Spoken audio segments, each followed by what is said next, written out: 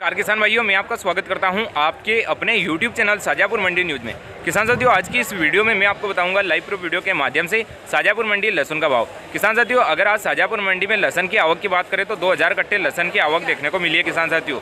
अगर हमारी साजापुर मंडी में लहसुन में तेज़ी या मंदी की बात करें तो लहसुन में बाज़ार सामान देखने को मिले किसान साथियों।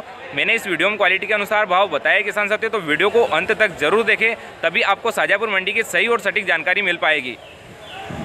और कमेंट में जय श्री महाकाल लिखना ना भूले किसान भाइयों। अब हम जान लेते हैं लाइव प्रूफ वीडियो के माध्यम से साजापुर मंडी लहसन का भाव। किसान साथियों लहसुन का जो ये लोट आप देख रहे हैं बिका है। छह हज़ार तीन सौ पचास रुपए प्रति क्विंटल किसान साथियों। अगर लहसन की साइज़ की बात करें तो सुपर क्वालिटी के लहसन देखने को मिल रहे हैं किसान साथियों।